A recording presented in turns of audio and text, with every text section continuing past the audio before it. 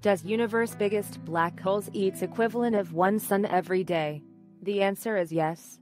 Two things you must know about this biggest black hole. 1. The fastest growing black hole in the universe actually is 34 billion times the mass of our sun and gorges on nearly the equivalent of one sun every day. 2. The black hole's mass is also about 8,000 times bigger than the black hole in the center of the Milky Way. Still curious about black holes? Visit our website www.365newsx.com.